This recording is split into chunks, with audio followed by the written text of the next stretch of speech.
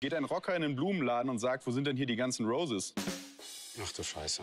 Ja. Ich hätte gerne Milch zum Kaffee. Ich habe Fettarme. Mm. Das sieht man. Trotzdem hätte ich gerne Milch zum Kaffee. Mm. Ja. Wie nennt man einen Polizist ohne Haare? Glatzkopf.